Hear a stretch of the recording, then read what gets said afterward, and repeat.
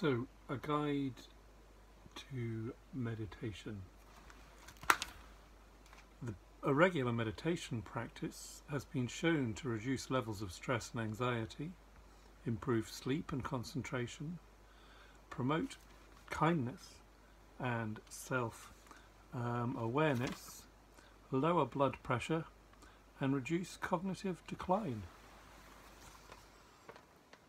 Here's everything.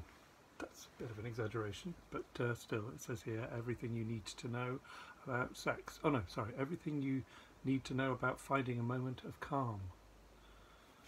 And possibly meditation is everything you need to know about sex too, but that's a more subtle point. What exactly is meditation and how do you do it? Melanie Hansel, yoga and meditation teacher, explains all. I'm not Melanie Hansel. Quite possibly she is. Hmm.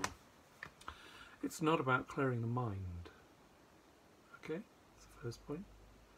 And practice makes perfect. And then there's the four stages, no, five stages. That's it. Okay, it's not about clearing the mind. The two most common things that put people off meditation are the belief that you have to sit and clear the mind for hours at a time, and that you have failed if you get lost in thought. We're lost in thought, caught in a trap. I can't admire my nine to five. We're lost in music. That's the worst karaoke session you'll ever get on channel YouTube Toothpaste 007 and also channel Refuge Tree Woods. But anyhow, I digress. But it is important to understand that we can't completely empty the mind of thoughts. Our brains are wired to think. Mindfulness meditation is the practice of just noticing those thoughts as they come along and where you put the stress in unpredictable places. You do think funny thoughts, don't you, Paul?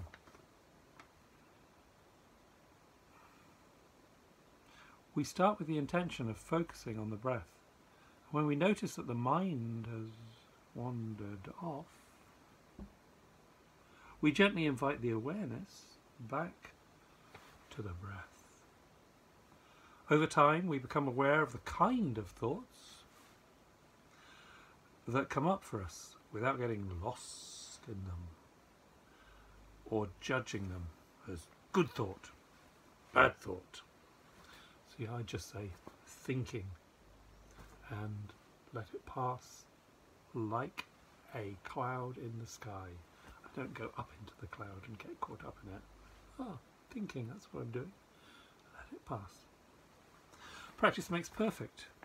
If you're new to meditation, it can feel strange to sit and observe the mind. It might be the first time you've ever done this.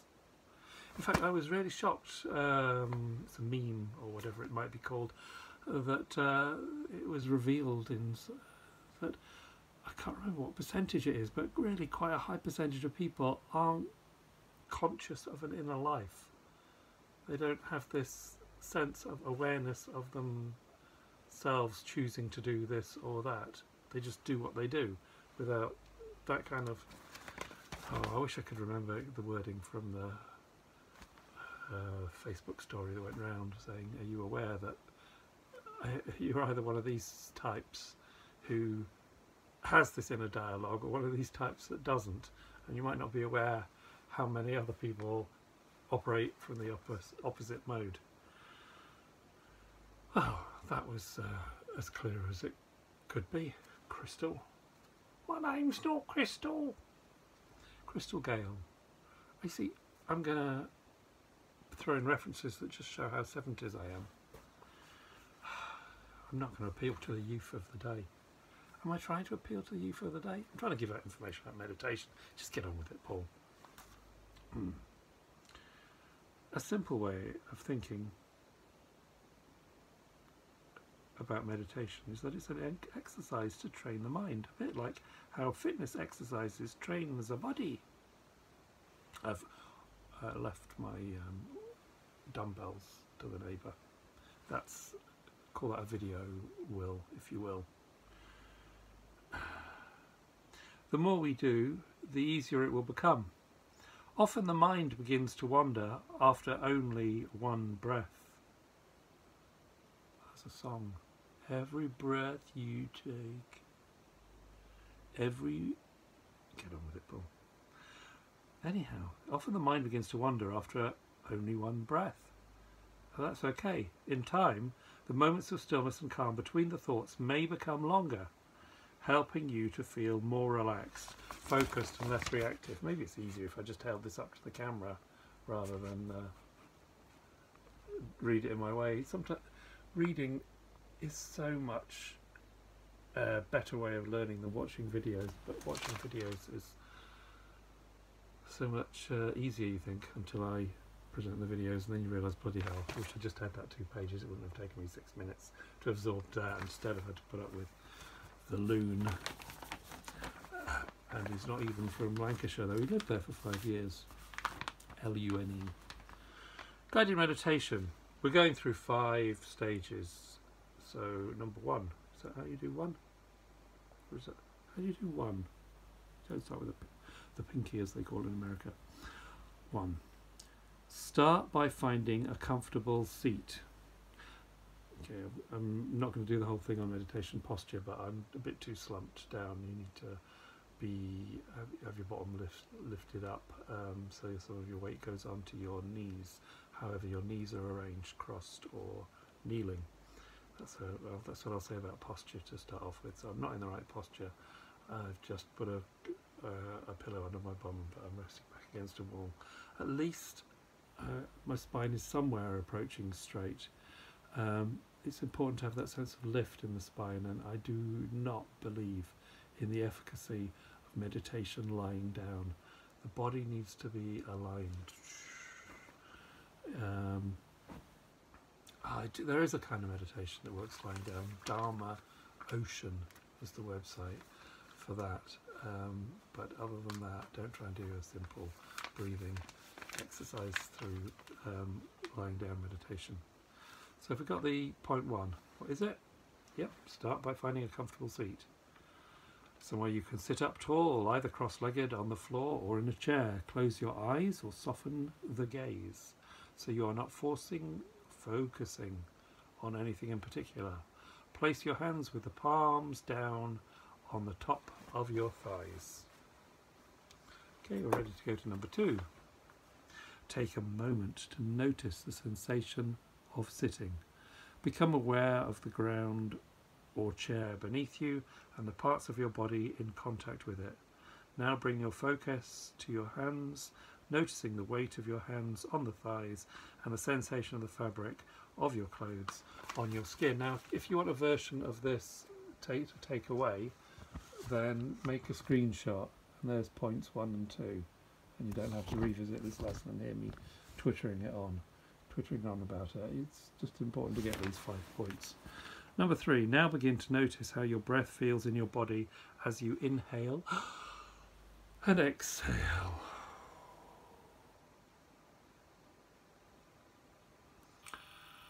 Make no effort to change the breath. Simply let your natural breath flow in and out Perhaps you feel the belly or the chest rising as you inhale and then falling as you exhale.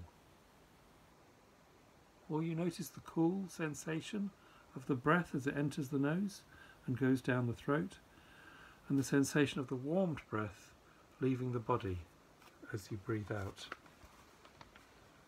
And may you never notice the sensation of your lungs filled with fluid.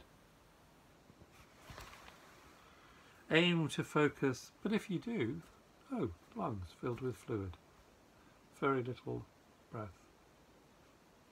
Such is COVID-19, such is my destiny.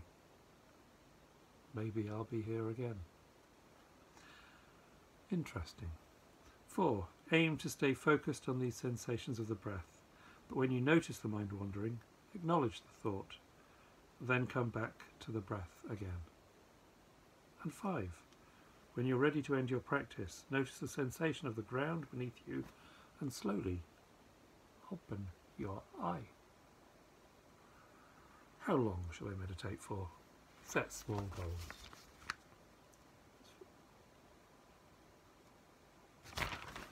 Well, I hope that was 10 minutes usefully usefully spent. Um, presuming that you are in self-isolation and um, well, I'm honoured that you spent 10 and a half minutes now of self-isolation with me. May you be well. May you be strong if you can't be well.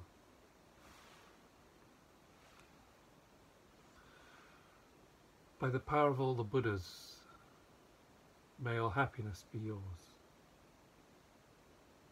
By the power of all Buddhas, may all gods protect you.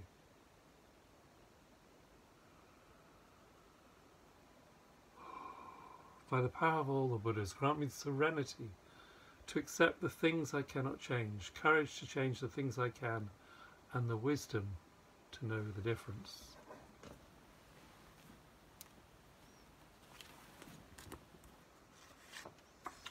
What got me through the general election as a, as a candidate, I it only worked for me once I'd got my mandala correct.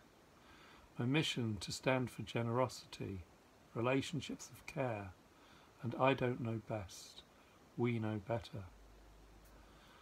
Then there are three circles, that's the middle, there are three circles, classical Venn diagram crossing each. Uh, um, overlapping each other.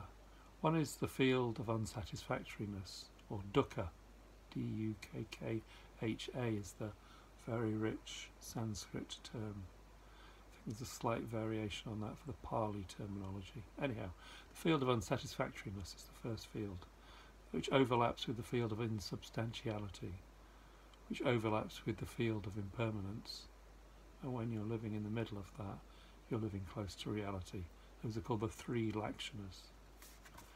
And in the middle of the night, if I wake up, I'm encouraged by Vidyakaya. Excellent film he's made uh, with me years ago on um, the body, the body, the body, the body. I put it as Insomnia, as a playlist on this channel um, called Insomnia, and it starts with the Vajrasattva chant.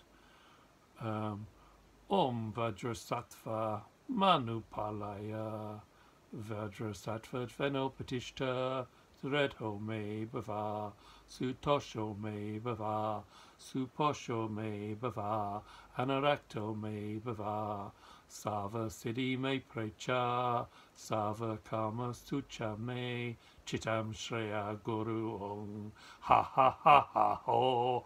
Bhagava Sava Katagata Vajra me muncha Vajri Bhava Mahasamaya Sattva Ahom Pat.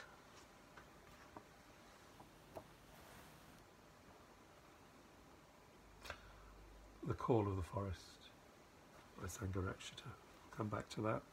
Maybe in another film.